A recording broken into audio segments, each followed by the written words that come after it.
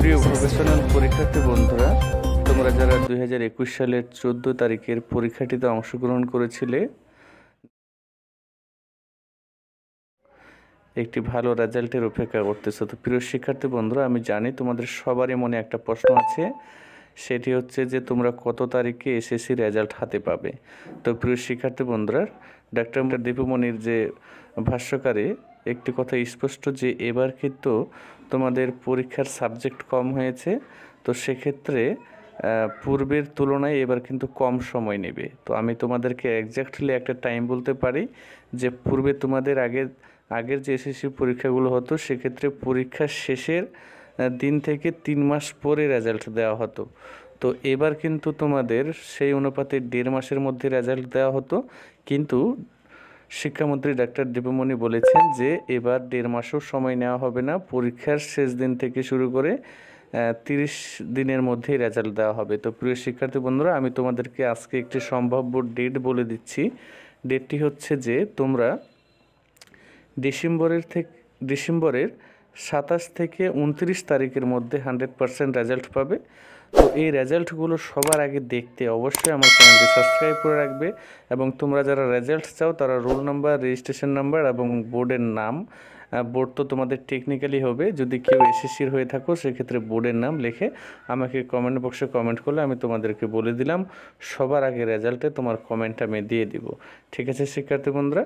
এটি মূলত একটি বিষয় ছিল যে কত তারিখে রেজাল্ট পাবলিশ হতে যাচ্ছে। তো এসএসসি হোক এসএসসি ভোকেশনাল হোক, সবগুলো রেজাল্ট যেহেতু একদিনেই প্রকাশ করতে করা হবে, তো সেক্ষেত্রে তোমাদের মূলত সাতাশ থেকে ধরো যে উনত্রিশ তারিখের মধ্যে কনফার্ম রেজাল্ট দিয়ে দেবে, এটা ডিসেম্বরের। ঠিক আছে শিক্ষার্থী বন্ধুরা? তারপরে তোমাদের দুই নম্বরে যে বিষয়টি, এসএসসি পরীক্ষায় সবাইকে পাস করে দেওয়া হবে কি? প্রিয় শিক্ষার্থী বন্ধুরা, তোমাদের সবাইকে পাস করে দেওয়া হবে কি হবে না, সেটি আলাদা বিষয়। তবে আমি এটুকু বলে দিতে চাচ্ছি যে যদি সবাইকে পাস করে দেওয়া হতো তাহলে কিন্তু পরীক্ষা নেওয়ার কোনো প্রয়োজন ছিল না অটো পাস দিয়ে দিত। যেহেতু পরীক্ষা নিয়েছে, সেক্ষেত্রে একটু পাস ফেলের ব্যাপার তো আছেই। যারা একদমই খাতা ফাঁকা রেখেছে, কিছুই লেখে নাই, সেক্ষেত্রে তারা অবশ্যই ফেল করবে। আর যদি কেউ লিখে থাকে, সেক্ষেত্রে সে অবশ্যই পাস করবে। এবার খাতা কিন্তু খুব কঠিন আকারে কাটা হবে না এবং খুব সহজ এবং সরলভাবে কিন্তু খাটা কাটা হচ্ছে।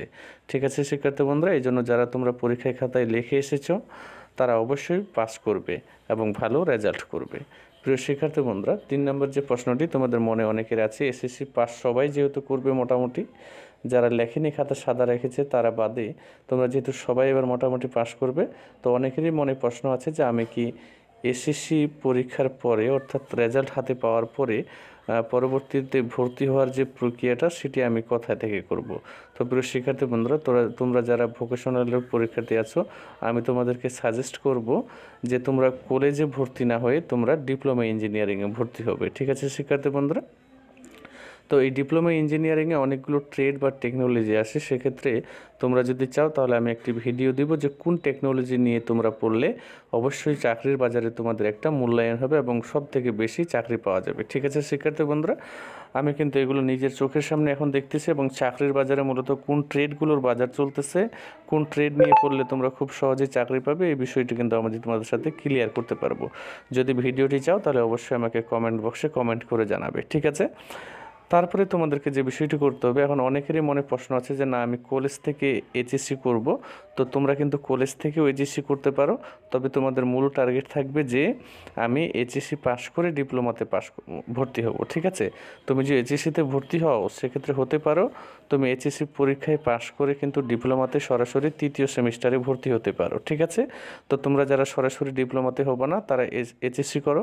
এইচএসসি করে হ্যাঁ তবে অবশ্যই এখানে একটা শর্ত থাকে যে এইচএসসিতে কিন্তু উচ্চতর গণিত নিতে হবে, ঠিক আছে?